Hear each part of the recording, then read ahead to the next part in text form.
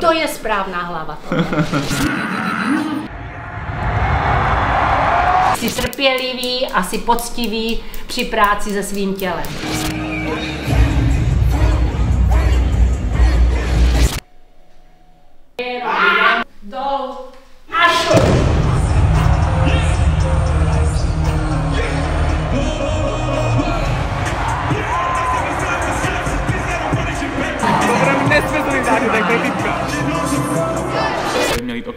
Operaci, už nikdy to nebude jako dřív. Já vás vítám u dalšího videa. Zrovna dneska, kde vychází video, je 22.7., což je přesně rok od toho, co se mi stalo zranění. Přetrhl jsem si křížový vaz v kolenu, povedlo se mi to dát dohromady bez operace. A dneska bych vám chtěl ukázat takový jako proces, který jsem absolvoval k tomu, aby se mi to povedlo. A myslím si, že to bude docela zajímavý, protože mám přístup do Olympu díky Czech skateboardingu a díky Centrum ministerstva vnitra tady v Olympu mám přístup k rehabilitacím, který nemá přístup úplně jako normální člověk, takže mi přijde docela zajímavý vám to ukázat. Pojďme se na to podívat. Pro ty, kteří neví, jak se mi to stalo, tak uh, jsme měli závod Red Bull Steep Street tady v Praze v Holešovicích a při rozježďování u nejzákladnějšího triku jsem se rozježděl a dělal jsem olí přes popelnici. Nebyl jsem úplně ready, jako byl jsem z toho hrozně nervózní, protože tam byly docela velké překážky. Rozježďoval jsem se, natáčeli jsme s Danem takový jako úvodní video na storíčko, že projedeme, projedeme celou tu sekci. Skákal přes popelnici, dělal jsem olí, Trošku mi to zaklonilo při té velké rychlosti, takže jsem to odkopl. A jak jsem to odkopl a byl jsem zakloněný, tak jsem myslel na to, abych se nezaklonil, ale dopadl jsem na úplně volnou nohu, takže se mi se stalo, že se mi prolomila noha dovnitř Vyjelo, to, vyjelo mi koleno ven, zajelo zpátky a říkal jsem si, jsem dopadl, trošku mi to bolelo, ne, v životě při tom dopadlu jsem si nemyslel, že, jsem si, že se mi stalo tady tohle vážné zranění. Že jsem, že jsem v podstatě jsem dopadl, trošku jsem, trošku jsem takhle jsem stál, chodil jsem tam okolo toho, já jsem to rozchodil, šel jsem po té ulici nahoru, já jsem si říkal, to je v pohodě. Jak jsem si to natáhl, po půl hodině mi to začalo natejkat, že, že jsem mi z kolena, který byl úplně, úplně ready, se mi stalo takhle, že jsem tam měl balon na tom, takže jsem si říkal, hm, jako asi, asi ten normální, když ti vyjede koleno z kloubu ven, tak prostě ti to nateče, asi jako normální reakce. Takže jsem tam ještě celý ten závod jsem tam byl, koukal jsem se na kluky. No a večer jsem šel na kontrolu do vojenské nemocnice a tam už když jsem přišel, tak se na mě ten doktor podíval a říká, hm, jakože po to, jak je to nateklý, tak teďka do toho píchnu a uvidíme, co se stane. Že pokud vyteče krev, tak je to v podstatě asi fakt jako blbý. Tak když tam bude krev, tak jako co to znamená? A mi říká, no když tam je krev, tak to znamená, že tam je ruptura. Potom podle magnetické rezonance zjistíme, jestli ta ruptura je úplná nebo jenom částečná. Když do toho píchnul, samozřejmě z toho vyteklo, vytekla jenom krev. Pořád jsem se vlastně neuvědomoval, co se stalo, takže, jsme, takže mi z toho nějak vytáhli krev, a doporučil mi jít na magnetickou rezonanci a potom uvidím, co se bude dít dál. Druhý den jsem se probudil ráno. Teprve v tu chvíli jsem si uvědomil, co vlastně znamená, že máš přetržený křížový vaz v kolenu. To si ten pocit toho, když jsem se na tím zamyslel a věděl, jako nějak jsem se začal googlit, zjišťovat, co se vlastně při tomhle tom zranění děje a zjistil jsem, že minimálně půl roku budu bez skateboardingu. Takže to byl pro mě takový zlomový okamžik kvůli toho, že jsem nikdy ne, neměl jsem delší pauzu než měsíc, kdy jsem si, kdy jsem si třeba, nevím, zvedl, zvedl kotník nebo natáhl nějaký sval. Dával jsem post na Instagram toho, co se mi vlastně stalo a byly tam různé reakce od lidí, že už nikdy to nebude jako dřív a že musím na operaci, protože já jsem v tom příspěvku psal, že bych to chtěl zvládnout bez operace, protože ten doktor mi řekl, že pokud to chci zvládnout a myslím si, že to zvládnu, takže na tu operaci nemusím, ale že to bude hrozně tvrdá cesta a nemusí to být 100% do kolena už nikdy. Byly tam smíšené reakce, reakce byly spíš negativní z toho, že bych měl jít okamžitě na operaci, že bez toho už nikdy nebudu skateovat a nikdy to nebude jako dřív a jsem mladý, že to dám rychle dohromady. Znám takovou tu, takový to pořekadlo, že když se do toho kolena jednou rýpne, tak už to nikdy není jako dřív a já jsem se tady tomu chtěl vyvarovat a dát to bez operace. Přesně jsem si tady ta reakce četl, uvědomil jsem se, co se děje. V tu chvíli jsem cítil, že jsem úplně na dně a vůbec nevím, co mám dělat, že jsem, já jsem brečel, protože jsem to úplně v hajzli. A já jsem hned napsal tady do Olympu, k té paní, která mě dává dohromady, co se stalo. A říkal jsem, že mám tady ten, ten problém ona, dáme to dohromady. Od zítra začínáš chodit na rehabilitace. Ten den, bylo to 24.7., začaly moje, zatím sedm měsíců v kuse jsem chodil na rehabilitace a na cvičení. Potom jsem byl zapsán přesně, jak jsem říkal, na tu magnetickou rezonanci a na to se nějakou dobu čeká, takže jsem 14 dní nevěděl, na čem úplně jsem, jestli to je kompletně přetržený nebo jenom částečně. Zjistili to, že ta ruptura toho křížového vazu je kompletní, ale pozitivní zpráva na tom byla to, že se mi stalo jenom to, že se mi přetrhl ten křížový vaz a nic okolo se nestalo. Takže jsem věděl, že žádný meniskus ani nic podobného, tam, tam nic není špatně. Byl jsem ještě za jedním ortopedem, který se specializuje na kolena. je to pan Kruta, a ten, ten se přesně mi to prohlídl, říkám mu, že by jsem to chtěl dát dohromady bez operace. On mi řekl, že pokud budu opravdu chtít, tak bez operace to jde, že by do toho vůbec nerejpal, tím, v jakém to je stavu, a počkáme prostě dva měsíce, co se bude dít, jestli, jestli se to bude zlepšovat, pokud ne, při nejhorším prostě dva měsíce se spozdíme s operací, ale nic zásadního se nestane. Jsem začal rehabilitace s tím, že prostě je to přetržený, po měsíci, co jsem tady, co jsem tady chodil, se to začalo dávat nějakým způsobem dohromady. V tu chvíli, kdy jsem začal jezdit na kole a začal cvičit na takovém přístroji, který se jmenuje iMove, tak se to začalo zlepšovat takovým způsobem, že jsem vlastně začal věřit tomu, že bez té operace to půjde zvládnout. Motivovalo mě to každý den, já jsem tady chodil od pondělí do pátku. Velká zásluha toho, že, jsem to, že se mi to podařilo dát dohromady bez té operace, je to, že jsem fakt držel ty rehabilitace a chodil jsem tady pravidelně každý den na cvičení. Tak bych chtěl poděkovat Czech Skateboarding a Olympu za tady tuhle možnost, protože bez toho by to fakt nešlo. Vážím si toho. Viděl jsem u posledních videí, že tam je docela super pozitivní feedback, z čehož mám mega radost, jsem rád, že videa baví a blížíme se k 10 tisícům, takže budu rád, když tady necháte like, odběr a subscribe. Podpoříte algoritmus, podpoříte moji tvorbu a budu za to rád. Díky a vidíme se na rehabilitačním centru.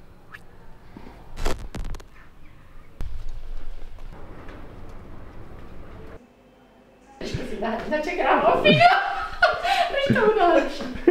Jsem Judita Smrčková, jsem fyzioterapeut, pracuji na Olympu, je to Centrum sportu ministerstva vnitra, pečujeme zde o vrcholové sportovce ale i o začínající sportovce, po klasické, klasické elektroléčbě, kdy jsme podporovali prokrvení hojících se struktur toho kolena zároveň, protože bylo znížený, znížená svalová práce, tak jsme museli prokrvovat i svaly, uvolňovat jich jednak pasivním cvičením, lehkým aktivním cvičením, ale využívali jsme ještě tady takovou speciální mašinku, válec, který dává impulzy koncovce a ta prostě uvolňuje triggery, prokrvuje unavený svaly, ale zároveň má i hojivý účinky, třeba zánětlivý, úpony a tak. Zase záleží, každý tělo je jedinečné. Hned v prvních dvou, třech ošetřeních už víme, jak to tělo reaguje a co vlastně snáší a co nesnáší. Druhá část hlavice, což my tomu říkáme fokusová rázová vlna, je to šetřivější pro tu tkáň a ten impuls je vedený přes galovou hlavici, takže je to šetřivější a dají se s tím ošetřovat i úrazové věci. To jde no. přímo do toho místa, kde to je poškozený. Jo. Přejede přes to místo a nejde to na to místo, tak je to na umření tady. Že prostě tam jde přímo ten rád, to kdyby někdo píchnul. Bolest, nebolest. To je takový, jako když si u zubaře a sondou, on tam šmátrá, šmátrá a když sondou najde na správné místo, tak to zacítíš, tak ti to tak jakoby zvláštně píchne. Svině jedna není tam zase del. Pracuje se s intenzitama, které uh, se nastavují podle, ze začátku určitě podle pocitu pacienta. On nesmí mít takovou bolest, aby se bránil tomu ošetření. My potřebujeme jemný ošetření. Neznamená, že čím víc bolí, tím víc léčí. To je, to je u masáží a u všeho je to podle mě zcestný. Ten nepříjemný pocit musí být komfortní a dobře snesitelný. Tím krouživým pohybem se ošetřují ty tkáně.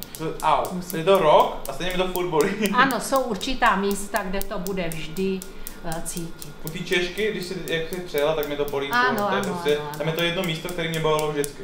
Nebyli jsme na zákroku, udělali jsme to trpělivou prací, protože nás nic nehnalo tak jako samozřejmě, že tam je zajízvení určitý. A proč, je, je, proč si myslíš, že to, že jsem to zvládl bez operace? Že, Protože to, máš dobře nastavenou hlavu. Jsi trpělivý a jsi poctivý při práci se svým tělem, proto. A to poškození nebylo tak fatální. Vždycky to je třeba vychytat a zjistit, co tomu tělu nejvíc sedne při tom léčení. Ale nejdůležitější je při léčení hlava. To, jak si to nastaví člověk v mozku. Přišel jsem z magnetický rezonance, že to je fakt, jakože to je utržený a říkal jsem, že to dáme bez toho, bylo mi doporučeno, že to půjde a Judita říkala, že když budu mít správně nastavenou hlavu a vě, budu stoprocentně vědět, že to zvládnu bez toho, tak to bez toho zvládnu. Bez toho, to. Což se povedlo. V normálním životě, když by normálně chodil do práce, normálně fungoval, eh, tak se to svým způsobem dále co pořešit jenom konzervativně. Ale jsou ty situace, kdy je třeba mít jistotu, že je to spevněný, že je to zahojen, že se to zahojí správně, že to bude správně fungovat, tak eh, většinou se lidi té operaci nebo tomu invazivnímu zákroku se nevyhnou. Jo, to štěstí, štěstí že, ten, ano, že ten charakter toho úrazu a mechanismus toho úrazu nám dovolil vyzkoušet tu uh, konzervativní cestu. Když jsem byl v Americe, v zimě, tak tam byl přesně ten moment, kdy jsem si uvědomil, že to je v pohodě, protože na zábradlí z 12 schodů jsem dopadl plnou váhou na to koleno a nic se nestalo. Takže jsem si říkal, OK, dali jsme to v pořádku. Dopadnul... Když použijeme ten gel, tak tady máme z toho odpad. počkej, počkej, počkej, nastavit. A vždycky tady je challenge, že se musíme z tohohle lehátka trefit do toho koše. My nejsme normální tady, protože to pracoviště není normální. tak pojď. Dneska začínáme, ano? No ano. Svině. Dneska na první pokus. No, tak já už nemám šanci, víš. Vždycky, když někdo zavře první, tak už se nejde dál. Už se nejde. A jsou jenom tři pokusy. Ano. Dneska jsem trefil na první, takže jsem vyhrál. Ale pamatuju si, že poslední, poslední dvě rehabilitace jsem prohrál. Ne, ale tak tohle to je dobré nastavení. To vidíš, jak, je, jak si věří, jak je ta hlava dobře na, na rychtovaná. Počkej, já se jenom zkusím, jestli bych to dala. Dobře. Prostě musíme, my jsme soutěžit. Ale dneska asi ne, dneska mi to asi tak nepůjde dobře. No. Kousek, tak jako má, má, to, má to právě. Když máme pacienty po úrazech nebo s jakýmakoliv, s jakýmakoliv pohybovými potížema, projdou veškerou tou základní rehabilitační péči a jako bonus a takový bonbon máme tady mašinu IMOVE, která nám jednak diagnostikuje problém pohybový a jednak nám pomáhá ho upravit. Ne vylečit, upravit. Ukáže nám práci těžiště, jak, jak je člověčí tělo, lidský tělo, jak pracuje s těžištěm.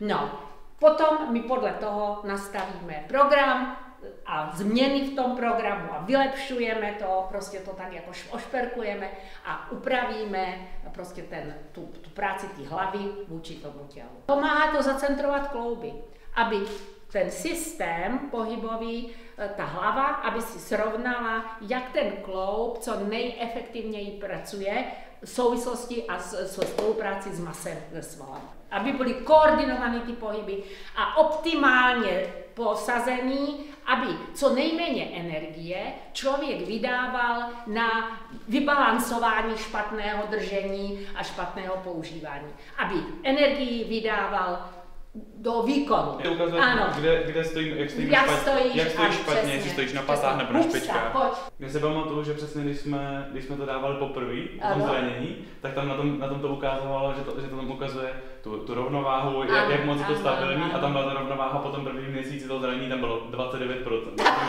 tak říkám, hm, asi je to špatně. Jasně, jasně. První si dáme vůbec takovou, jako takovou rozjížďku. Mašina se pohybuje v osmičkovém pohybu, zatěžuje se krásně tělo zatím v nižší rychlosti v pravidelným, v pravidelným rytmu. Na přední části.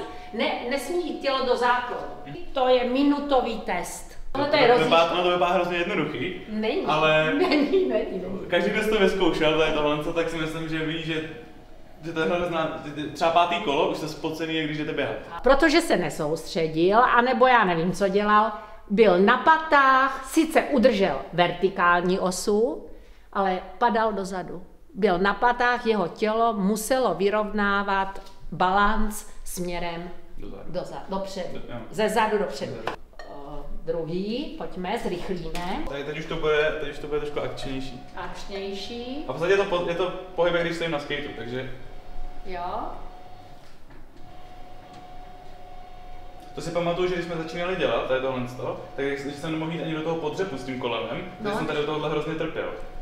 aby si víc uvě- mohl uvědomit, že musí víc zabrat, abych já viděla, že se účastní vlastně ta přední část nohy, ty prsce, že, že nepadá na ty paty. Takovým jako motorickým vzorci nechali pracovat eh, spodní část těla. Takže pánev, nohy. Začíná vlastně důležitý je od chodidla nahoru to zaktivovat. Za to tady to chyť. Já už vidím. A teď to musíš držet v tom zeleným. To je ono. Cítím, jak, jste, jak, jste, jak tu špička.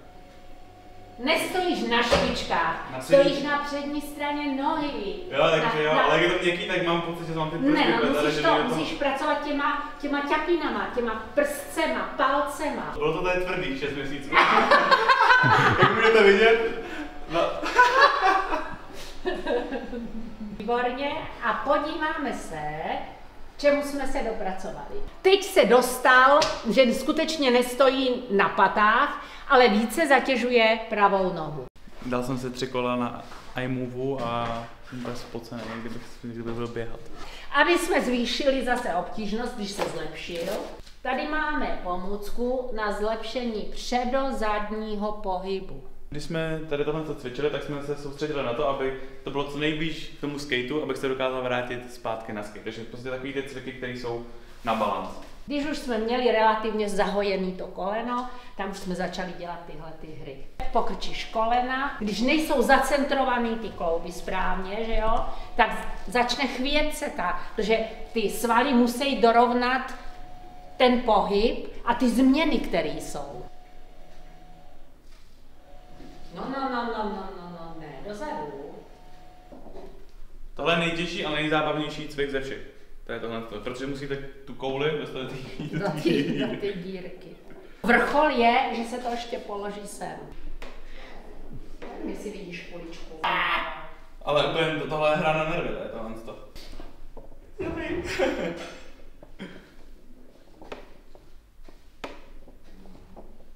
Nemůžeš takhle stát a dělat. Ale kulička je Ale uprostřed. si to prostě dobře. K tomuto předcházelo pasivní cvičení, potom velmi le- odlehčené aktivní cvičení a pak jsme začali pomalu zvětšovat rozsah pohybu eh, na, díky tomu na míči. Že? Protáhni nohy a A zase zase dopředu. dopředu a protáhneš.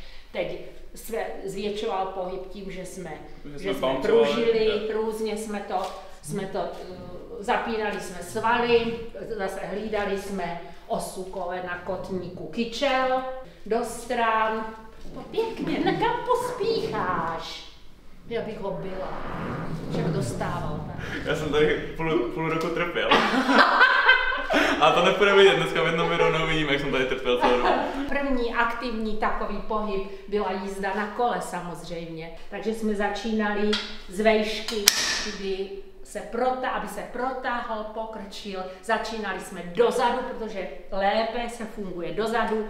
Ta noha, která je nějakým způsobem funkčně postižená, tak se jenom vozí a pracuje ta zdravá noha. Proč je dobrý to kolo? Nemáš zátěž na ten kloub, pouze pracuje ta hybnost. Ta, ten pohyb, že? Ano, ten pohyb, ale ty ne, nemáš vlastní váhu těla ještě tam a je to vlastně takový lehčí, aktivní pohyb. Takže tam přišel ten největší progres toho, kdy jsem to Kdy zlepšil. začala, ano, přesně, přesně. Přeneseš a správně centruješ koleno.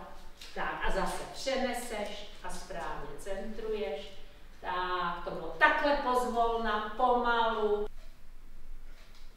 Největší sranda je, že on si drží tyč a já se tyče jenom dotýkám. To je psychicky. A já mám pocit, Já já, mám já, mám pocit, že to naplno drží. To není, ještě to není jako. Toto se děje jenom lidem, no. A výdech. A nádech. To jsou ty skoky, jakoby, víš, a tak si tak jako pod, dol, až musí být naplněná až úplně po špunt. Aby, když se to zatíží, aby to neruplo. Musí tam být plno vody. Eh, Stačí ti polička ze skřínky, žádný drahý věci nepotřebuješ. Dáš si to mezi dveře, našlápneš a máš vlastně a balancuješ a jezdíš. Domácí jo? balanční deska za, Ano. pár, za pár korun. Za balanční deska ze staré skříně vytáhneš a můžeš na tom cvičit a můžeš na tom dělat, co chceš. Nespadneš nikam, jako, takže nemáš zábranu. Máš úplně v pohodový jako pohyb na tom. Nebý tam neří, tam šel.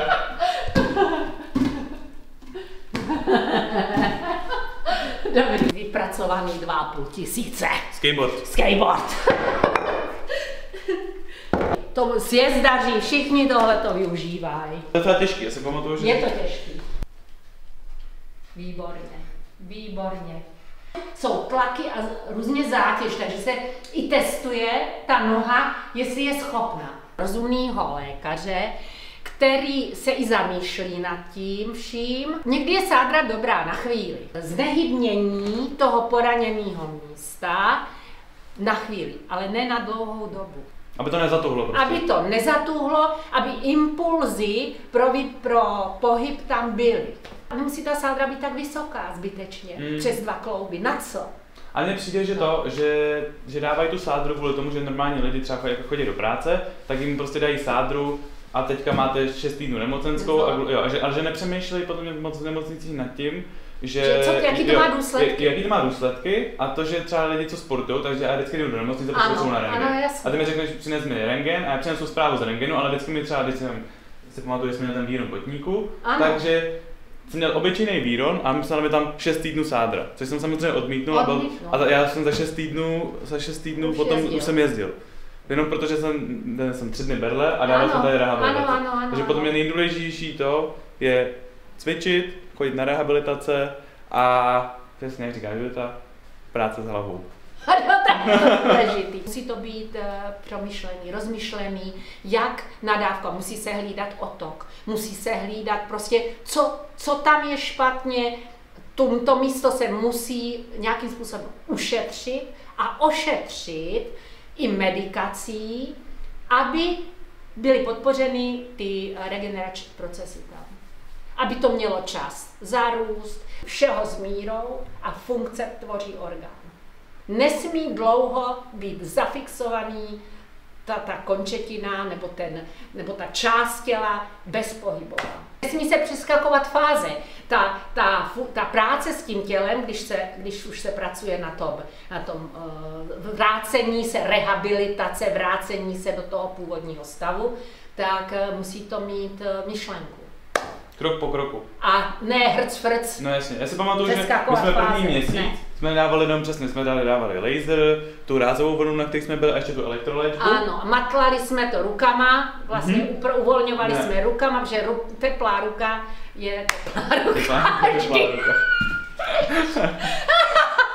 A po, potom po teplé ruce následovalo to, že jsme dávali kombinaci přesně tady tohohle. Ty rázovky a potom už jsme šli cvičit. A potom už jsme chodili jenom na, cvičení. Uh, u nás jako uvolňování tkání, měkké techniky, uh, a, aby se ty tkáně, nes, my tomu říkáme nespíkaly nebo ne, neslepovaly, tím, že se nehejbou, že tam není ta činnost. Že jo? Teď je hodně moderní uh, fasciální uvolňování a tak, ale to má myšlenku, je to výborná věc a je to fajn, když to člověk může, může prostě dělat, když se to dá, když ten člověk neleží No v skafandru nebo prostě o něčem takovým.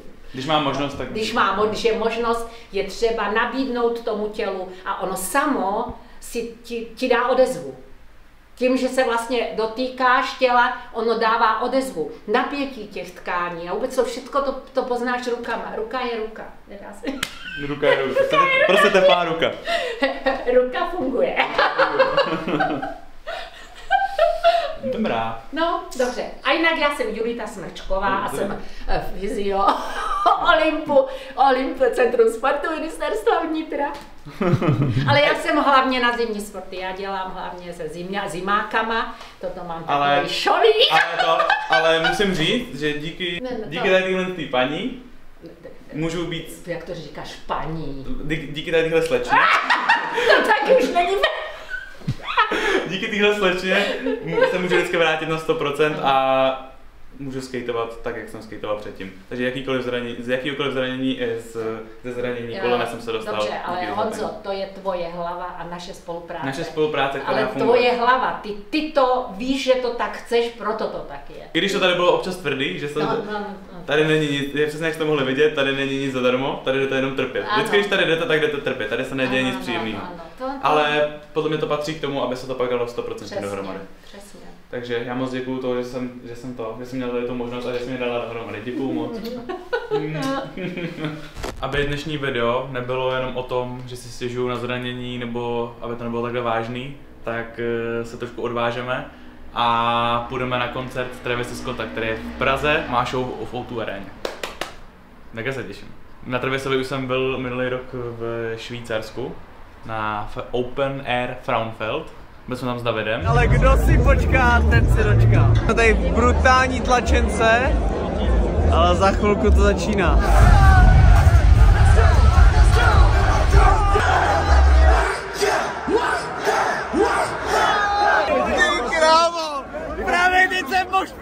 Ale to ještě nevydal album Utopie, takže mám velké očekávání a těším se. Takže doufám, že zahraje Nightcrawler, Sirens z nového alba Utopia. To jsou jakoby, jestli ty zahraje tyhle ty dvě věci, tak budou nejspokojenější na světě. Potom si zapomněl Don't Play. Ty vole. Pe- pro OGs trošku Pro. víc. Já si pamatuju, že když my jsme spolu začínali skateovat, což bylo tak rok 2013, tak uh, skater Miles Silva vydal part a měl tam song přesně Upper Echelon, ale ty doby si to jedu. Že Travis byl na seznamu wishlistu, takže jsem rád, že si to dneska splním. Na song, který se nejvíc těším, je určitě Don't Play a Pressure mám prostě takové ty klasiky.